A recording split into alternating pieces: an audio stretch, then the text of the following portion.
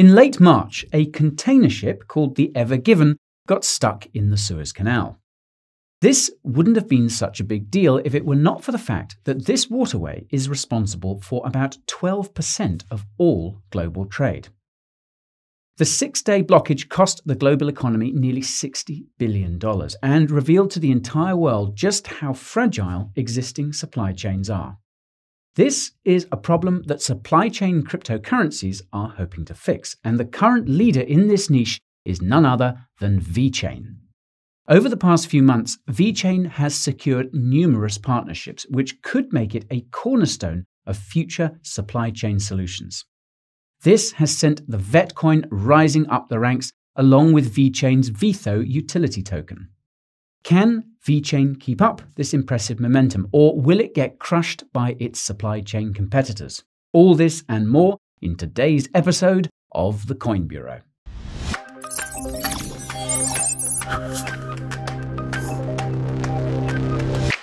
Before we unpack VeChain, there are some expectations I need to restrain. Make no mistake, I think crypto is pretty great, but I do not possess the proper credentials to be a financial advisor. That means that nothing in this video is financial advice, and everything I say is just to help make you wiser. If this is your first trip to the Coin Bureau, be sure to make yourself at home. My name is Guy, and my crypto content has one quality setting high. Crypto news, coin reviews, exchange tutorials, and financial uh, memorials are just a few of the topics I take to the screen. If this sounds like your cup of tea, subscribe to the channel and ping that notification bell so you always get these videos while they're hot. My content always comes equipped with timestamps that you'll find in the video timeline. Use those tags to enhance your viewing experience by skipping around as you see fit. Now that you're all set, take a seat because it's time to take a ride on the VeChain Express. If VeChain is a void in your vernacular, here's a short summary. VeChain was founded in 2015 by electrical engineer Sunny Lu. Sunny is the former Chief Information Officer of Louis Vuitton China and has almost 20 years' experience working in supply chain infrastructure. The VeChain ICO took place in August 2017 and brought in about $20 million. The VeChain Thor blockchain went live in June 2018 and its Genesis block contained a message which read, quote, Salute and respect Ethereum. This is because the VeChain blockchain is based on Ethereum, but has been optimized for performance like many other enterprise blockchains. VeChain's speciality is supply chain management, and it combines blockchain with NFC, RFID, and QR code technologies to track luxury goods, food, pharmaceuticals, and much more. This requires a lot of throughput, which is why VeChain uses a proof of stake consensus algorithm called proof of authority that allows it to process up to 10,000 transactions per second. There is a limit of 101 proof of authority nodes on the VeChain blockchain, and these are the only nodes on the network that are allowed to process transactions. All proof of authority nodes must provide KYC documentation and stake a minimum of 25 million VET. Whether a prospective authority node makes the cut ultimately depends on the VeChain Foundation, which handpicks all authority nodes. In contrast to most proof of stake blockchains, the amount of VET being staked by a proof of authority node has no influence on its likelihood of getting chosen to produce a block. Instead of issuing new VET coins each block, VeChain blocks mint VeTho tokens, which are then given to all staking participants on the network. This includes economic nodes and X nodes that do not participate in consensus but have significant voting power via their VET. VeTho tokens are then used to pay for all transaction fees on the VeChain blockchain, and these fees can be delegated to third parties to facilitate enterprise use cases and work around crypto custody restrictions. With the consenting vote of VET holders, the VeChain Foundation periodically adjusts VeTho tokens to ensure transaction fees on the network remain stable in dollar terms. Because VeChain is smart contract compatible, it is possible to create decentralized applications and even new tokens on its blockchain. However, whether these dApps or tokens get added to the VeChain blockchain is decided by VET holders and the VeChain Foundation. 10 tokens have made the cut so far, as well as 17 dApps, according to DApp Radar. VeChain dApps are accessible via the Sync desktop wallet, which functions as a one stop shop for everything VeChain. If you want to take a deeper dive into how VeChain works and why it's such a significant project, you can watch my previous video about VeChain by using that link up in the top right. VeChain has made significant strides in development and secured some prolific partnerships since last summer. In August last year, VeChain announced the release of food oriented supply chain solutions on the VeChain toolchain, its blockchain as a service platform. This makes it possible for businesses in the food industry to deploy decentralized applications to track their produce and products using pre made templates specific to their industry. VeChain also partnered with Travala to make it possible to pay for vacations using VET. In September, VeChain joined the Chinese Animal Health and Food Safety Alliance, which includes the Chinese branches of McDonald's, Starbucks, and Walmart. VeChain has already convinced one of the members of the alliance to use the VeChain toolchain, though I wasn't able to find any information about which company it was specifically. In November, it was revealed that top ranking officials in China's Hubei province had sat down with the VeChain team and a risk management firm to discuss tracking and tracing related to the pandemic. In December, the Cyprus arm of international business consulting giant Grant Thornton secured a spot as one of VeChain's 101 authority nodes. The director of Grant Thornton Cyprus said that the company intends to help its clients use VeChain's blockchain technologies. In January this year, hospitals in Cyprus began storing vaccination records on the EHCert app, which is powered by the VeChain blockchain. That same month, VeChain released the second version of its Sync Wallet terminal, making it possible to delegate any fees related to dApps on the VeChain blockchain. Last month, the VeChain Foundation initiated a vote to reduce the base transaction fee paid in VeTho, which has increased by more than 20x since the start of the year due to VeTho's impressive price action. Just last week, Salesforce's director Daniel Norky tested VeChain's toolchain and noted it as his favorite blockchain solution due to its simplicity. Although a concrete Salesforce partnership has yet to materialize, this barrage of bullish news has sent VET and VeTho on a collision course with the moon. VET has gone up by about 10x since the start of the year, which is impressive given its relatively large market cap. What's even more impressive is the accompanying surge in trading volume that has supported this parabolic run. Now, to be completely honest, I can't point to a single factor that could be fueling VET's price action. Besides staking and governance, VET has no other demand drivers. However, it is very possible that the price action of VeTho could be motivating more economic nodes to join the network. This is because VET staking can be a solid source of passive income. Putting down the 15 million VET you need to run a Mjolnir tier economic node would give you about $100 of passive daily income. 15 million VET works out to nearly $2.5 million, which is a pretty penny, but might be worth the price when you consider that VET has also been going up over time. In other words, you're making passive income while hodling a coin that is increasing in value. A win win.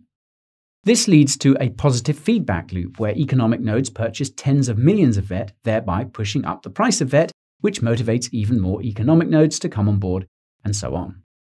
The best thing about VET is that it has a fixed supply of 86.7 billion, and all the VET allocated to private investors and the team has already been vested. About half of this supply is in circulation, with the remainder being staked. VET supply also seems to be quite equitably distributed, save for a few whale wallets which are noted as belonging to exchanges such as Binance. These robust tokenomics lead me to believe that VET could make it to a dollar by the end of this bull market, but we will probably see another correction and some consolidation before then. Speaking of consolidation, this seems to be exactly what the VeTho token is doing. VeTho has gone up by more than 50x since the start of the year, and this is an extremely bullish indicator for VeChain as a whole. This is because VeTho is used as gas on the VeChain blockchain. If VeTho is pumping, this means that individuals and institutions are actually using VeChain. Either that, or there is a whale with very deep pockets who's buying up all the VeTho, which doesn't seem to be the case according to the VeTho rich list. While VeTho has a much smaller market cap than VET, I think it might have a harder time moving up the ranks after its recent pump. This is because VeTho has no maximum supply, and there is a constant wall of sell pressure coming from the VeChain nodes who are earning VeTho as staking rewards and selling them for profit. These nodes may be hodling for the time being because of VeTho's price action, but this could change very quickly if a psychological target is met or the price starts to fall. On that note, my technical analysis tells me we might be on the verge of a big breakout for VeTho. I can't say for certain because what I see is a symmetrical triangle which can break to the downside or the upside. If it breaks to the upside, we could see VeTho go as high as 3 cents, which would be a 2x from its current price at the time of shooting.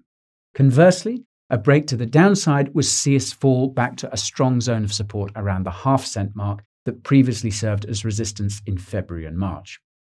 The fact that this symmetrical triangle is still pronounced on the weekly time frame means it's a bit of a coin flip.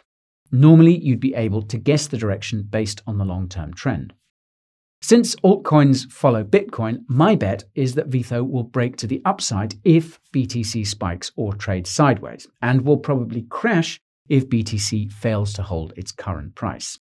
If you want to learn how to do your own technical analysis, I happen to have a few videos about that, and you can watch the first episode of that series by using that link in the top right. While VeChain does not have a clearly defined roadmap, recent interviews with founder Sunny Lu offer a few clues about what's in the works. For starters, VeChain is looking to diversify its utility beyond supply chains and experiment with crypto specific niches like NFTs and DeFi. Sunny recently said that VeChain's NFT interests date back to 2018, though it wasn't until September last year that VeChain started to shout these interests from the rooftops. Besides cashing in on the NFT craze, VeChain wants NFTs to also become a more active part of its supply chain solutions. In terms of adoption, VeChain hopes that its blockchain will be processing at least 1 million transactions per day at the end of the year. The VeChain blockchain has been processing an average of about 90,000 transactions per day as of late, most of which are apparently coming from smart contract use, including the VeChain toolchain. The VeChain Foundation is also working on the finishing touches to the Proof of Authority 2.0 upgrade, which should be going live in the next few weeks. Without getting too technical, POA 2.0 will increase VeChain's TPS and make it impossible for its blockchain to fork. This will add a critical degree of network security that usually keeps enterprise players at bay. To top it all off, Sunny hinted in a recent interview that the VeChain Foundation is in talks with Coinbase, as well as a handful of other large US exchanges to list the VET coin. However, despite what VET and VeTho's price action would have you believe, VeChain has actually been struggling behind the scenes. According to founder Sunny Lu, VeChain has been hit hard by the current pandemic. Now, although you would think that disruptions the pandemic has caused to supply chains would leave companies scrambling for solutions like VeChain, Sunny says that the opposite is happening. Rather than try out new technologies, companies around the world are taking a more conservative approach to how they do business. Big brand names like Walmart are opting to go with legacy supply chain solutions from the likes of IBM instead of cryptocurrency blockchains. What's worse is that the restrictions on travel have made it harder for the VeChain team to fly around and demo products like the VeChain toolchain to prospective clients. This is obviously much harder to do from a distance, especially when many businesses are unwilling to take risks with their already dwindling revenues. Even though VeChain has a strong presence in China, it seems to be having some issues with adoption there as well. This is because cryptocurrencies are subject to strict regulations in China, which makes it very hard for companies to comfortably hold cryptocurrencies there. This poses a huge problem for VeChain because the VeTho token is required to pay for all transactions made on its blockchain. While there is a workaround using cryptocurrency custodians, this adds yet another layer of complexity to a technology that is already hard for the average corporate CEO to digest. All the while, VeChain is having a difficult time making headway in Western markets because of its close ties to the Chinese government. Now, this all sounds pretty dismal, but there seems to be light at the end of the tunnel for VeChain. Institutional adoption of cryptocurrencies is growing across the globe, even in China. Look no further than the news that a Chinese tech company called Meitu added Bitcoin and Ethereum to its balance sheets. The pandemic also seems to be coming to a close, and many economists are predicting a powerful economic recovery. This newfound stability will hopefully help corporations cozy up to the idea of cryptocurrency powered technologies such as VeChain's toolchain. Considering how much VeChain has accomplished despite these setbacks, I think summer is going to be a seriously promising season for VET, VETHO, and the entire VeChain ecosystem. VeChain is one of the few enterprise oriented cryptocurrencies that I'm a fan of. It has managed to seduce both individuals and institutions to help build its dream of a truly transparent economy. I, for one, am always wondering what exactly is in the food I eat or the articles of clothing that I wear. VeChain has tasked itself with making this possible and seems to be getting closer to that goal every day. This isn't to say that VeChain hasn't had its fair share of setbacks, though. I remember the hack of VeChain's foundation wallet in December 2019 like it was yesterday, and I still can't shake the age old notion that its partnerships are a bit exaggerated. Every cryptocurrency project is guilty of this to some extent, but I must admit that VeChain's founder Sunny Lu has a way of taking this to the next level. Any direct questions related to things like the nature of VeChain's partnerships, how many transactions are coming from its partners, and even critical things like privacy are often met with extremely vague answers from Sunny. Now, to be fair, Sunny has gotten in trouble in the past for accidentally revealing partnerships before they were made public. Moreover, VeChain has had the tough task of balancing the wants and needs of VET holders, its institutional clientele, and the Chinese government. This is no easy feat, and the fact that VeChain has continued to grow even with these hurdles is seriously impressive. However, there's no question that VeChain has yet to gain a significant foothold in the supply chain industry, and it's not just because of competition from IBM or scrutiny from the Chinese government.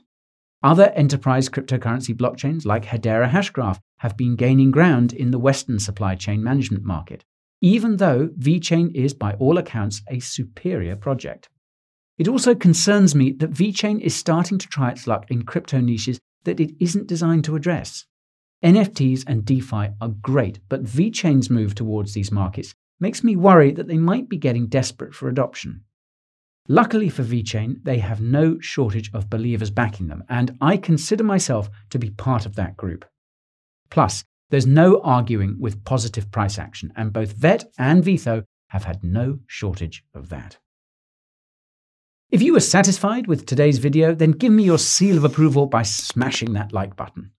Remember to subscribe to the channel and ping that notification bell to make sure you secure your seat when the next one hits the tube. If you can't live without the Coin Bureau, I can't blame you. I've got a few resources to keep you going. Follow me on Twitter to get my hot crypto takes, join me on Instagram for my bi weekly AMAs, and tune into my TikTok channel to watch Macy make fun of me.